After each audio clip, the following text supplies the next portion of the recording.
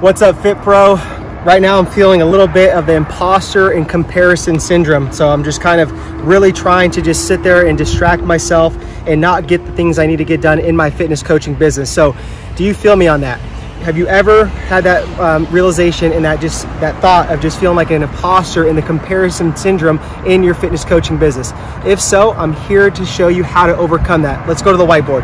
All right, so how do we overcome imposter and comparison syndrome in our fitness coaching business? Let's kick this off. The first thing I want to start with is imperfect action so putting out your A plus work and your B plus work. So what do I mean by that, right? So again, Everybody wants to put out their A plus work. Everybody wants to sit there and have their work be polished, their videos, their content, the copywriting, everything to where, again, if you think about that too much, it's gonna cause paralysis by overanalysis. You will never sit there and put that out because you're quote unquote a perfectionist and you can't go down that route. You can't do that because again, you will never ever move the needle forward. So focus on putting your B plus work out there and test it out. And then from there, you can always improve upon that and go up to your A plus work.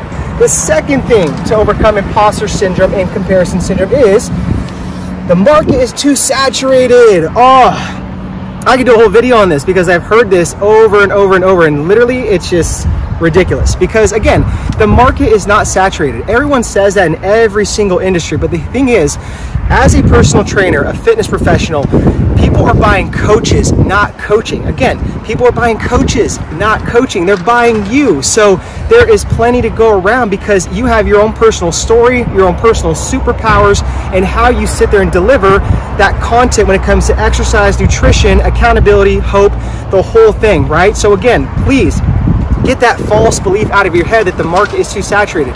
You have every single right and every single you know power in you to get there and serve these clients. There's so much to go around. So again, reframe your mind to sit, to sit there and think that that you're not an imposter. The other thing is, let's talk about reframing your mindset to cheer on your competitors, right? So again, this is something I struggled with early on as an entrepreneur. I, I'm guilty of it, but you have to really sit there and think positive. Put good positive energy out to the universe because the universe will repay you in good, good ways. So, whenever you think that you have competitors, again, reframe your mind to think of that as like they are actually inspiration to you, right? They're actually out there helping and serving people at the same uh, at the same level. So again, why not cheer them on? Why not like their posts? Why not comment on their posts? Why not learn from them? See what they're doing to see how you could better yourself in your coaching businesses.